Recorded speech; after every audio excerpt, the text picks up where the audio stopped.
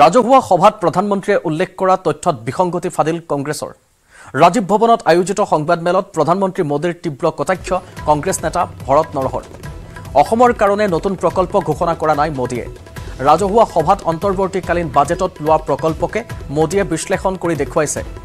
অসমৰ ছয় জনগোষ্ঠীৰ জনজাতিকৰণ অসম চুক্তিৰ ছয় নং দফা আখৰে আখৰে পালন কৰিম বুলি প্ৰতিশ্ৰুতি দিছিল কিন্তু আজিলৈকে সেই প্ৰতিশ্ৰুতি পূৰণ হোৱা নাই কটাক্ষ ভৰত নৰহৰ।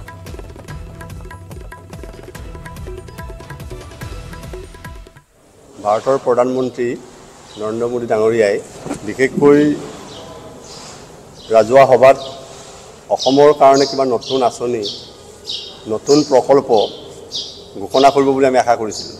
কিন্তু তেওঁৰ আপোনালোকে প্ৰধানমন্ত্ৰী মোদীৰ গোটেই বক্তৃতাটো যদি আপোনালোকে বিশ্লেষণ কৰে তাত দেখা পাব প্ৰায়বিলাক তেওঁ যোৱা এক তাৰিখে এক ফেব্ৰুৱাৰী তাৰিখে লোকসভাত কেন্দ্ৰীয় বিত্তমন্ত্ৰী নিৰ্মলা সীতাৰামনে দাখিল কৰা অন্তৰ্বৰ্তীকালীন বাজেটৰ গোটেই কথাবিলাক ৰাজ্যক ব্যাখ্যা কৰিছে। আপোনালোকে শুনিলে আচৰিত হ'ব।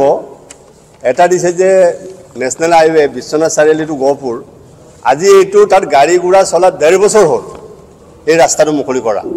দুহেজাৰ ষোল্ল চনৰ অসম বিধানসভাৰ যেতিয়া নিৰ্বাচন হৈছিলে বিজেপিৰ যিটো নিৰ্বাচনী ষ্টাৰ আছিলে তাত এটা এটা উল্লেখযোগ্য এটা প্ৰতিশ্ৰুতি আছিলে যে বিজেপি অসমত চৰকাৰ গঠন কৰা ছমাহৰ ভিতৰত অসমৰ ছয় জনগোষ্ঠীক জনজাতিকৰণৰ মৰ্যাদা দিয়া হ'ব।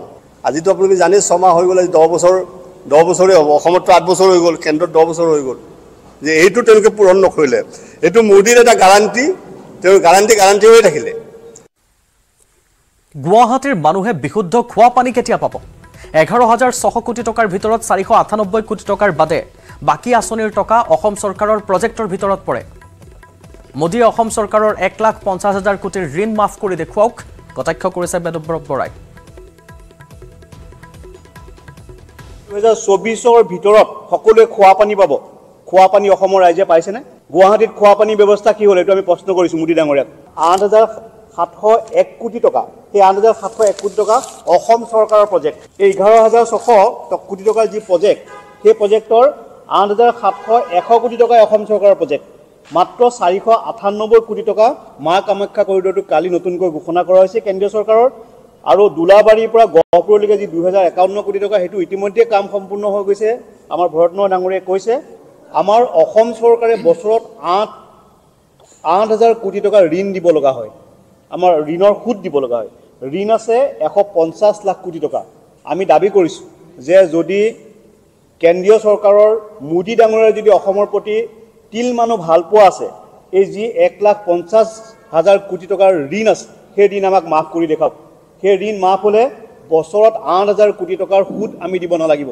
আৰু সেই সুদৰে আমি বহুত কাম কৰিব পাৰিম।